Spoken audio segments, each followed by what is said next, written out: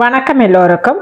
நாங்கள் இன்றைக்கு மோமோ செய்து பார்க்க போகிறோம் மரக்கறியும் கோழி இறைச்சியும் பயன்படுத்தி தான் செய்ய போகிறோம் வாங்க வீடியோக்குள்ளே போய் எப்படி செய்கிறோம்னு பார்ப்போம். தேவையான பொருட்கள் பார்த்தீங்கன்னா கோதுமை மா அரை கிலோ உப்பு சன்ஃப்ளவர் ஆயில் கோழி இறைச்சி உருளைக்கிழங்கு குடமிளகாய் தக்காளி பழம் ஸ்ப்ரிங் ஆனியன் வெங்காயம் கேரட் சிவப்பு மிளகாய் உள்ளி பச்சை மிளகாய். இனி நாங்கள் முதல்ல இவ்வளோதையும் துப்புரவு செய்துட்டு எப்படி செய்ய போறோம் என்று தொடர்ந்து பார்ப்போம். முதல்ல நாங்கள் இதை துப்புரவு செய்து எடுத்துக்கொள்வோம்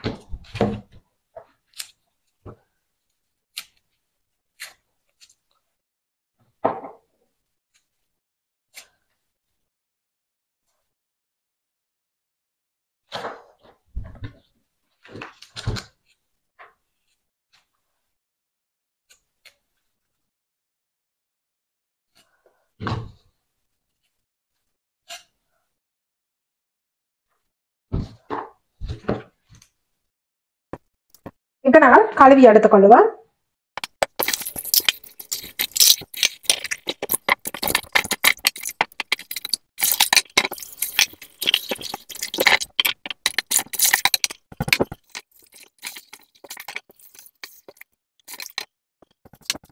இப்ப நான் கழுவி எடுத்துட்டேன். இனி சின்னனா வெட்டி எடுத்துக்கொள்ளும்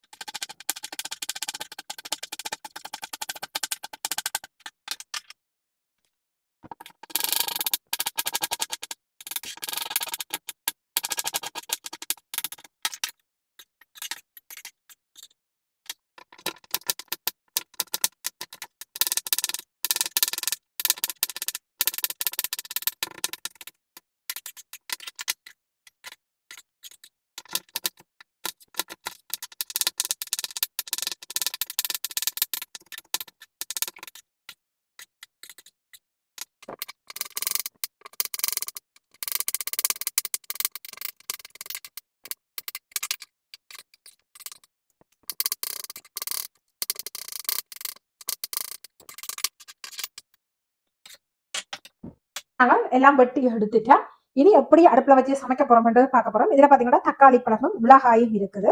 இதை வந்து நாங்கள் அவிச்சு எடுக்க வேணும் இப்ப நாங்கள் எப்படி செய்ய போறோம்னு தொடர்ந்து பார்ப்போம். வாங்கோ. இப்ப அடுப்புல சட்டியை வச்சு ஹீட் பண்ணுவோம். சட்டி ஹீட் ஆயிட்டு நாங்கள் எண்ணெய் கொஞ்சம் விட்டு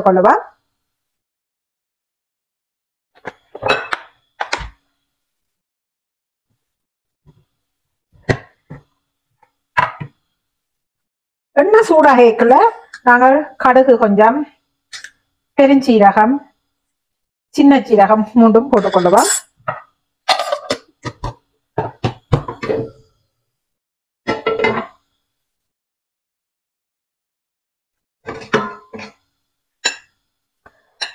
மூண்டும் பொறிஞ்சு விரைக்குள்ள நாங்கள் வெட்டி வச்சிருந்த வெங்காயத்தை போட்டுக்கொள்ளுவோம்.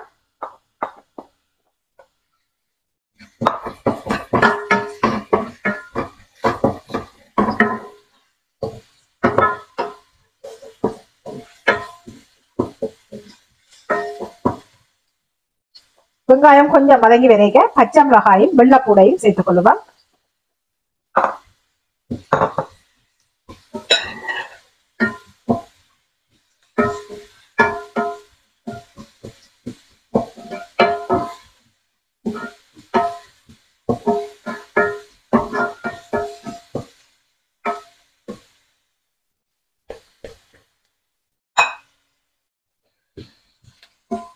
பாருங்க வெங்காயம் பச்சை மிளகாய் வெள்ளப்பூடையெல்லாம் இப்படி வதங்கி கொண்டு வரைக்கும் நாங்க வெட்டி வச்சிருந்த இறைச்சியா போடுவோம் கோழி இறைச்சியை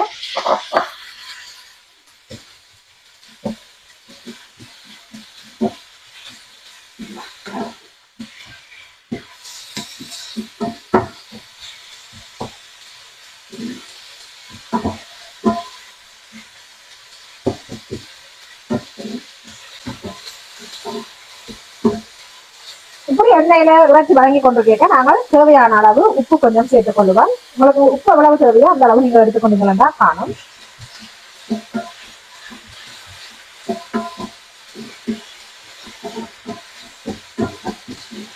பார்க்கவே தெரியும் இறைச்சி ஓரளவு அவிஞ்சு கொண்டு வந்துட்டு அரவாசி பழத்துக்கு அரப்பழம் அவிஞ்சிட்டது இனி நாங்கள் இதுக்குள்ள வெட்டி வச்சிருந்த உருளைக்கிழங்க சேர்த்துக் கொள்ளுவோம்.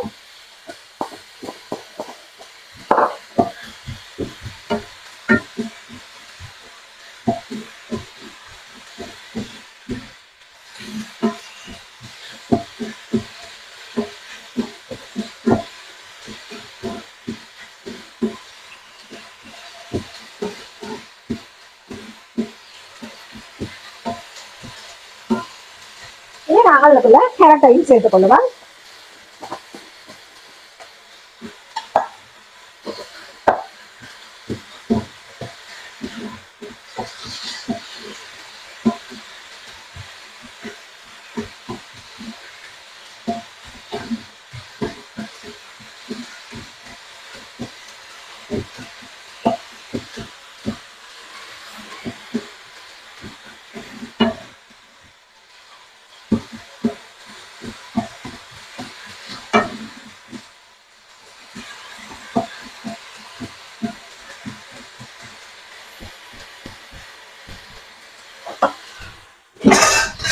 கொள்ளுவோம் இப்படியே மூடி அவிய வச்சு கொள்ளுவோம். இப்படியே மூடி கொஞ்ச நேரம் அவிய வைப்போம். இதுலயே இருந்து தண்ணி வரும் அப்ப அந்த லோ தண்ணியிலேயே அவிஞ்சு கொள்ளும். இப்ப பாத்தீங்களா கொஞ்சம் அப்புறம் பார்த்தோம்டா இப்ப வந்து கரும்பு எல்லாம் கொஞ்சம் எல்லாம் அவிஞ்சிட்டு உங்களை பார்க்கவே தெரியும் உங்களுக்கு. கலர் எல்லாம் மாறி இருக்கு இப்படி இது கேக்குல. நாங்கள் வெட்டி வச்சிருந்த குடமிளகாய் இருக்குத்தானே அதான் சேர்த்து கொள்ளுவேன் குடமிளகாய் எல்லாம் முதலே நாங்கள் போடக்கூடாது. ஏன்னா அதெல்லாம் பெருசாக அவிக்க தேவையில்லை இது நாங்கள் வந்து பச்சையாவே சாப்பிடக்கூடிய ஒரு மேக்கர் தான் இந்த குடமிளகாய் எல்லாம் ஆனா பார்த்தீங்கன்னா நாங்கள் இதெல்லாம் எல்லாம் அஹ், எல்லாம் அவிஞ்சு முடிய உருளைக்கிழங்கு இறைச்சி எல்லாம் அவிஞ்சு முடியத்தான் நாங்கள் இதை இதோட சேர்த்து மெல்லிய ஹீட்டில் கலந்து விட்டு கொண்டோம்னா அவிஞ்சிடும். ஸ்ப்ரிங் ஒனியன் இதையும் கலந்து கொள்ளுவோம்.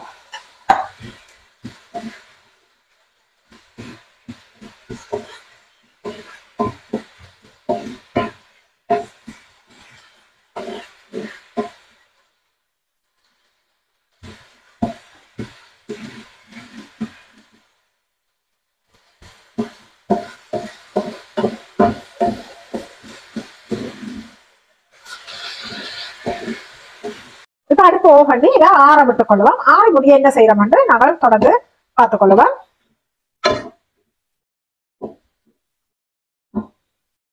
இதுல வந்து நாங்கள் எடுத்து வச்சிருந்த மா உப்பு எண்ணெய் தண்ணி இருக்குது. நாங்கள் ஏற்கனவே இந்த மாவை அரிச்சு எடுத்து வச்சிருந்த நாங்கள். இப்ப இதுக்குள்ள வந்து நாங்கள் தேவையான அளவு உப்பு போட்டுக்கொள்ளுவோம் பாருங்க உங்களுக்கு எவ்வளவு உப்பு தேவையோ அந்த அளவுக்கு நீங்கள் உப்பு எடுத்துக்கொள்ளுங்க இதுல இதுல எண்ணெய் இருக்குது. எண்ணெயும் விட்டு எண்ணெயும் விட்டு நீங்கள் இந்த மாவை நல்லா கலந்து விட்டுக்கொள்ளுங்க இப்போ நாங்கள் கலந்து விட்டால்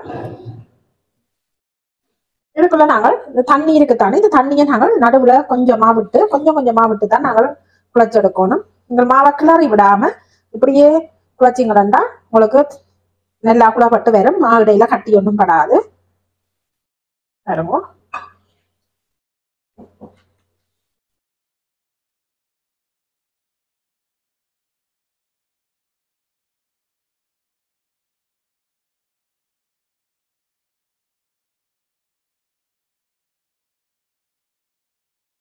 இப்ப பாருங்க நாங்கள் மாவை இப்படி நல்லா குழச்செடுத்துக்கலாம் வந்து. பாருங்க நல்ல சாஃப்டா வந்திருக்குது. உங்களுக்கு பார்க்கவே தெரியும். பாருங்க இனி நாங்கள் என்ன செய்ய போறோம்னு பார்ப்போம். இதுல பாருங்க நாங்கள் இறைச்சி மிளக்கஞ்சி எல்லாம் போட்ட கலவை இதுல இருக்குது. இதுல வந்து நாங்கள் குழச்செடுத்த மாவு இருக்குது. இப்ப இதை நாங்கள் வந்து எப்படி தட்டி செய்ய போறோம்னு தான் பார்க்க போறோம்.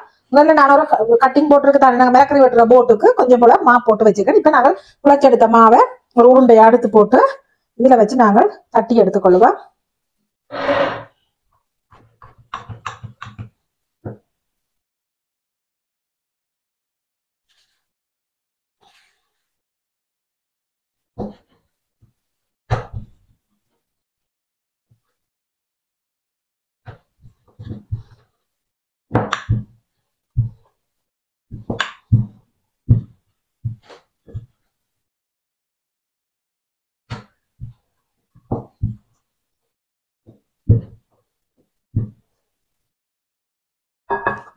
இப்படி தட்டி போட்டு இதுக்கு மேல உள்ளுக்கு இதுக்குள்ள நாங்கள் இறைச்சி எடுத்து இப்படி வச்சுக்கொள்வோம் இந்த மிளக்கறி கலவையை வச்சுட்டு இதை குழம்பு இங்கே இப்படியே தூக்கி கொண்டு இங்கே மூடுவோம் பாருங்க மூடிட்டு நாங்கள் இப்படியே பாருங்க இப்படியே நல்லா சேர்த்து கொண்டு தான் அமர்த்தி விட்டுட்டு இப்படியே இதோட வெட்டி எடுத்துக்கொள்ளுவோம். பாருங்க எப்படி எங்களுக்கு கிடைச்சிருக்குன்ட்டு இதை நாங்கள் இப்படி அமர்த்தி விடலாம வலிக்கிடாம பாருங்க. இனி நாங்கள் இந்த சட்டிக்கு எண்ணெயை கீழே பூசிட்டு இப்படியே இருக்க வச்சுக்கொள்ளுவோம்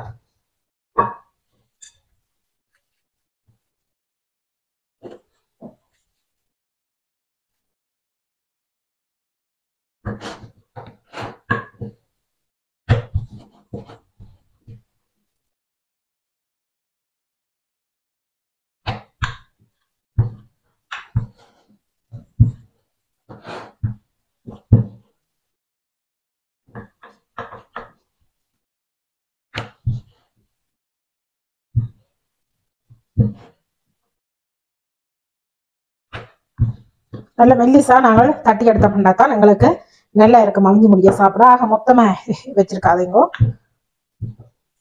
இதை வந்து நாங்கள் நல்ல மெல்லிசா தட்டி எடுத்துக்கொள்ள வேணும். மொத்தமா இருந்தா எங்களுக்கு சாப்பிடுக ரிசா நல்லா இருக்காது. ஆனபடியே நாங்கள் மெல்லிசாவே தட்டி எடுத்துக்கொள்ளுவோம்.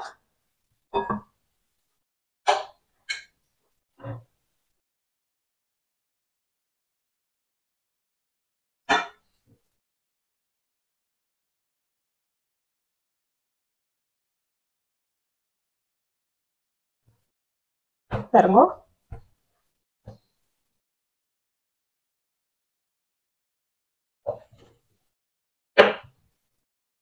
பாருங்க இப்படி வந்துட்டேன்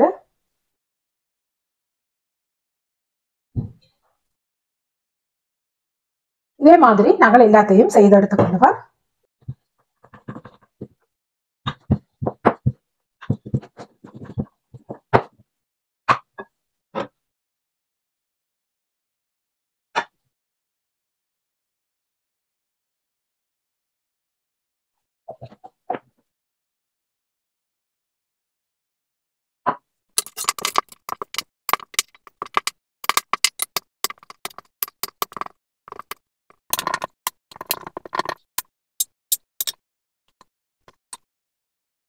நாங்கள் செய்து எடுத்துட்டோம். இனி அடுப்பில் வச்சு அவிய வச்சுக்கொள்ளுவோம்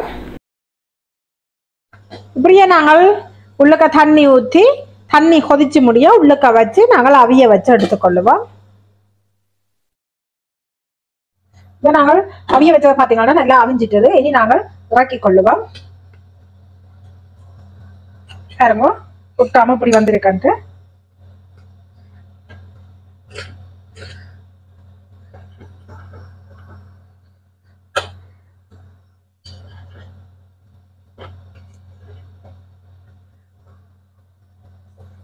பாருங்க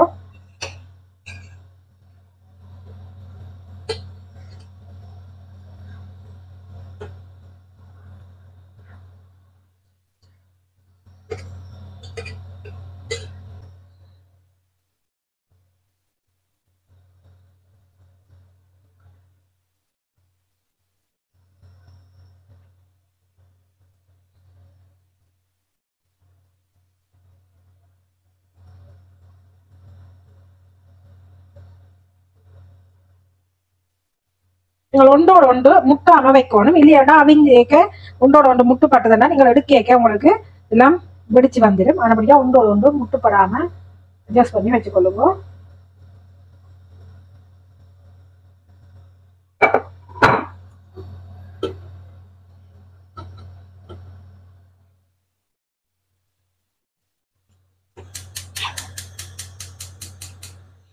இதுக்குள்ள தக்காளி பழமும் மிளகாயும் போட்டு நாங்கள் அவிய வச்சுக்கொள்வோம் இந்த தோலை உரிச்சு எடுத்துட்டு மினி கிரைண்டர்ல போட்டு அரைச்சு இப்போ நாங்கள் இந்த கப்புக்குள்ள நாங்கள் அவிச்சு எடுத்த தக்காளி பழத்தையும் மிளகாயையும் அதுக்குள்ள போட்டு அடிச்செடுத்துக் கொள்ளுவோம்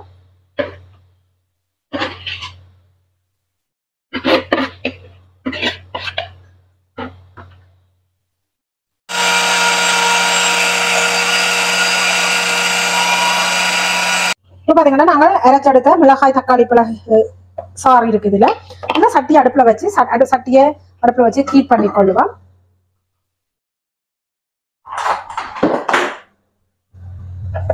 சட்டியை ஹீட் பண்ணிட்டு நான் நல்லெண்ணெய் தான் விட போறேன் பாருங்க. நல்லெண்ணெய் நல்லெண்ணெயை இருக்க கொஞ்சம் விட்டு கொள்ளுவோம். கணக்க தவிர கொஞ்சமா விட்டு கொள்ளுவோம்.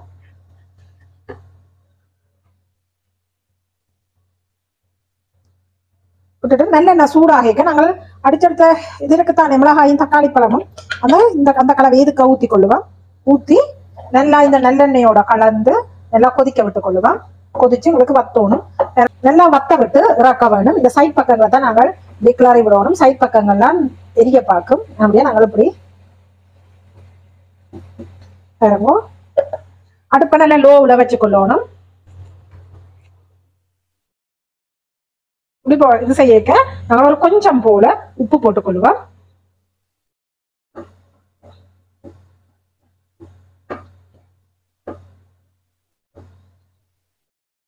நல்லா வத்தட்டு.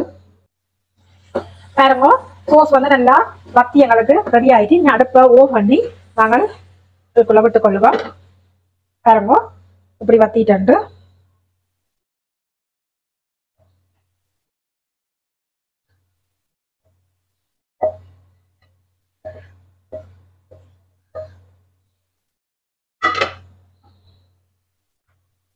பாருங்க நாங்கள் விட்ட சோஸ் இருக்குது இதுக்கு.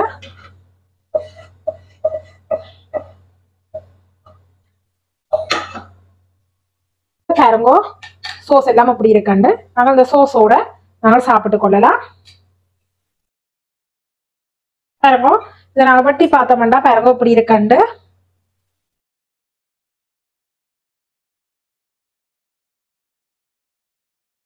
பாருங்கோ இப்படி இருக்கு. பாருங்க உங்களுக்கு பார்க்கவே தெரியும். உங்களுக்கு நல்ல வடிவா கறி எல்லாம் வச்சு நல்லா அவிஞ்சு போய் நல்லா இருக்குது.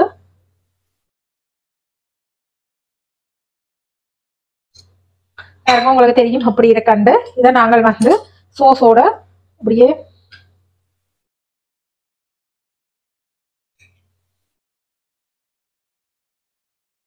இப்படியே நாங்கள் இப்படி தொட்டு சாப்பிட்டு கொள்ளலாம். இதை வந்து ஒரு இரவு சாப்பாடா இல்லை காலை சாப்பாடா செய்து கொள்ளலாம்.